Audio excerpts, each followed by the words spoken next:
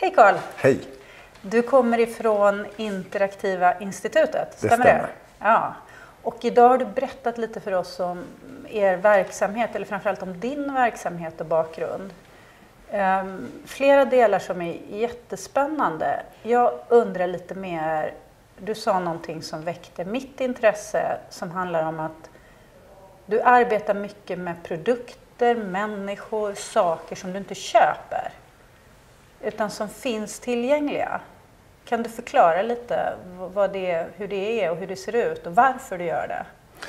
Eh, Jag tror att det du tänker på det var det jag var inne på att prata om som handlar om eh, öppna och fria tillgängliga resurser. Vare sig det är Precis. hårdvara eller mjukvara eller eh, innehåll av olika slag. Och det man kan säga har hänt inom teknologin under eh, ja, det sista decenniet och kanske de sista fem sju åren på allvar.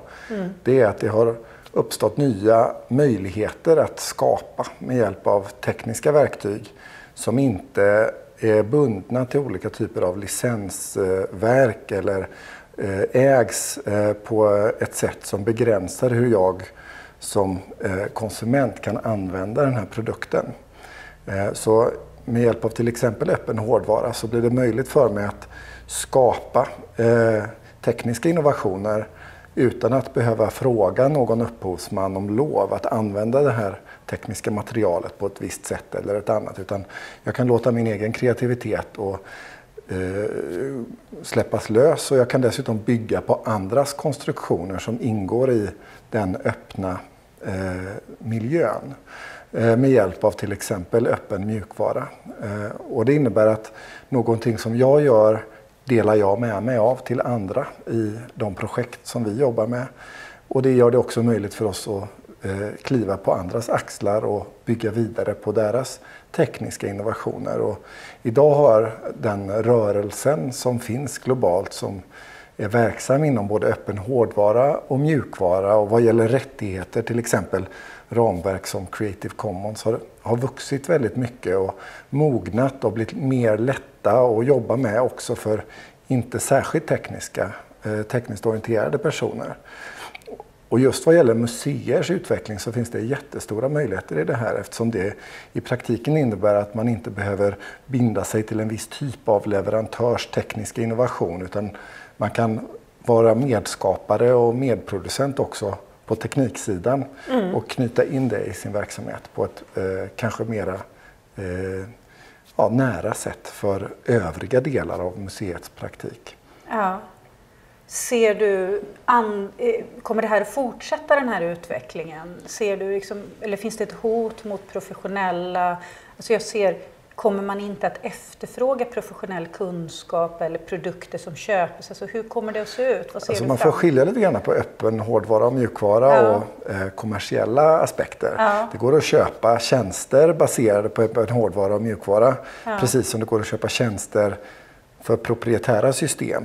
Eh, om man tar ett exempel i form av en, eh, en, eh, ett ordbehandlingsprogram till exempel. Jag kan ju köpa ett Word-program eller jag kan köpa Pages ifrån eh, Mac.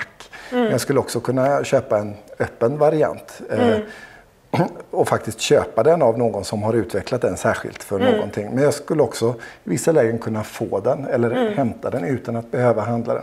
Men det innebär ju inte för den delen att det inte krävs en kompetens utan det krävs både en kompetens som beställare av öppen hårdvara och mjukvara och en kompetens på leverantörssidan. Så där är det egentligen ingen skillnad. Men det som är en skillnad det är eh, hur jag kan använda de här materialen eller produkterna eller tekniska systemen. Eh, vad det för med sig för rättigheter och vad det för med sig för möjligheter.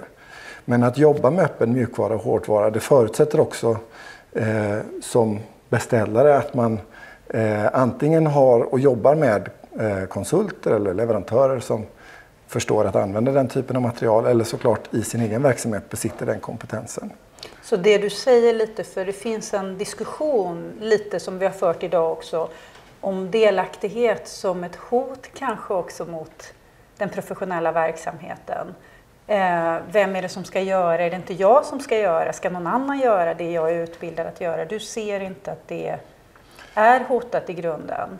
Nej, alltså om vi tar, det handlar bara om, för mig handlar det om hur man ser på sin roll i en praktik. Om vi tar på tekniksidan så är det inte ovanligt att museer har museitekniker av olika slag som Eh, ägna sig åt idag, att köpa in produkter eller eh, beställa material och så vidare. Och det kommer de fortsätta göra. De kanske till och med får en stärkt roll i sin verksamhet för att de behöver ha nya och andra kompetenser för att kunna beställa nya och andra typer av produkter eller, mm. eller sammanhang. Så det finns inte ett motsatsförhållande mellan att dela eh, med andra och att så att säga försaka kunskap. Utan snarare ser jag det i ett motsatt förhållande.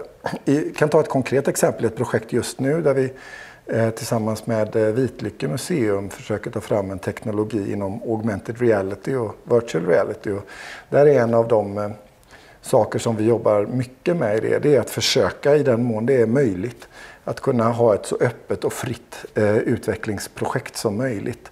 Och det innebär ju konkret att andra museer mycket enklare kan ta del av den innovation som vi gör mm. tillsammans med mm. i det här sammanhanget. Utan att, det är inte så att vi så att säga, säljer det flera gånger utan det handlar snarare om att göra ett större projekt med fler aktörer. Mm. Eh, och på det sättet berika alla inblandade mm. parter genom att dela.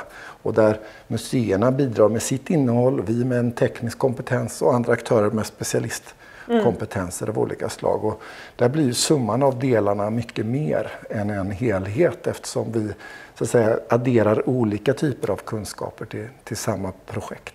Mm. Så slutsatsen är egentligen att delaktighet och samverkan ökar kompetensen och efterfrågan på kompetens ja, inom museivärlden? Alltså ja, ja, absolut, det tror jag. Ja. Och, eh, det gör också att all samverkan eh, när vi utsätter oss för mötet med den andra eller det okända gör att vi ökar också i viss utsträckning graden av friktion. Eh, vi tvingas ifrågasätta ja. våra egna praktiker och vårt eget görande och hur saker och ting går till. Och I den reflekterande processen som uppstår genom den typen av samverkan och där man delar tillsammans så eh, sker ju också en förflyttning och rörelse. Så som jag ser det så innebär en en ökad delakultur inom eh, museivärlden. Både ökad kompetens men också en, en snabbare utveckling. Det låter som en strålande avslutning. Tack. Tack.